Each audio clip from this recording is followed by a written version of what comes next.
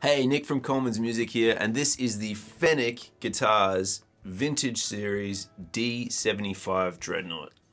We have just started stocking Fenech guitars in our stores and we're really, really excited about it.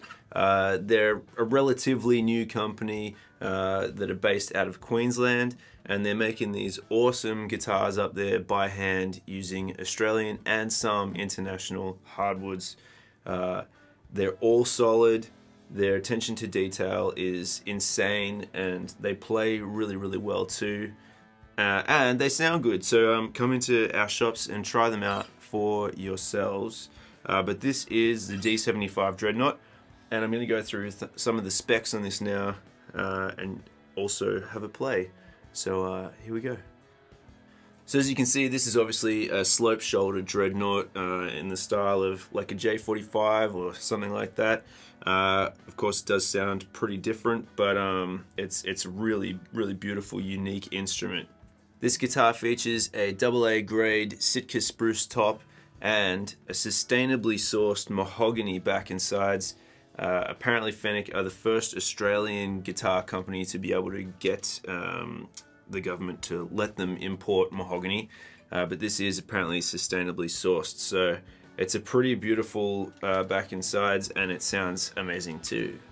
This one comes in tobacco burst and it's a nice uh, nitrocellulose finish. You've got a herringbone style um, binding on it and you've also got it in the rosette there as well, as well as hardwood binding underneath so you can actually see it from uh, the back and sides as well uh, and nice little finish in the join down the tail end there as well.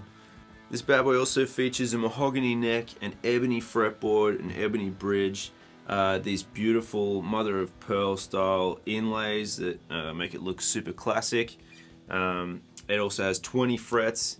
Uh, it's a 24.75 scale length with a 15 inch radius. It's got a TUSQ nut and bridge uh, it's got the Fenech inlaid logo in the headstock, uh, plus a little matching motif. You've got Gotoh vintage tulip style machine heads uh, that work wonders for tuning. Uh, and uh, a nice satin finish on the neck there as well, which makes it super comfortable to play. Now I read on the Fenech website that these also feature a new uh, bracing pattern. From the outside, it looks like a standard X brace, but apparently there's something else going on in there. They didn't say what, but uh, I dare to smash your own one apart and have a look inside, and then let me know afterwards. That'd be great, thanks. Also hidden in the sound hole in here is Fenech's own pickup. Uh, it's called the A1G. It's got volume control, uh, phase inversion switch, uh, bass control, and treble controls. Uh, obviously, it's just an end pin style plug. Uh, it is a piezo style pickup and it does sound like a piezo style pickup. Um, whether or not you're into that is up to you. And the other thing that's really, really great about Fenech guitars, or at least the ones that we have in our store, is that they all come with this incredible TKL hard case that I want so bad. It's uh, it's beautiful. It's uh, rock solid. The inside's amazing too.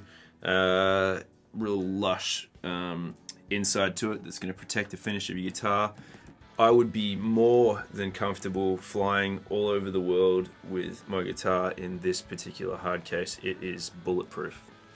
So that is the Vintage Series D75 Dreadnought from Fender Guitars. I'm going to have a play of it now and you can hear how it sounds. I think it sounds damn good.